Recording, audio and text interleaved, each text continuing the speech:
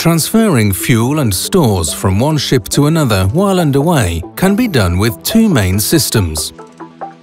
RAS-L – Transferring liquids RAS-S – Transferring solids the RAS-L system consists of a collection of winches, a ram tensioner, a hydraulic power unit and sophisticated electronics that work together to maintain a constant tension on the cables between the ships.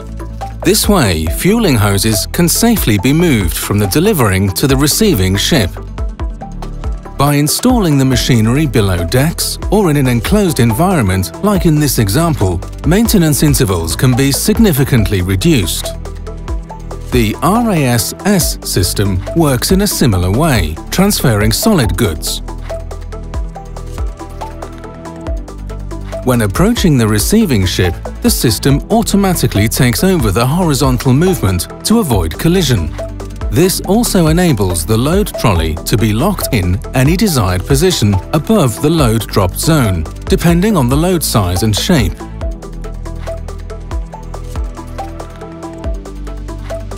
We focus on the complete life cycle of your machinery, from design, engineering and installation to operator training and maintenance.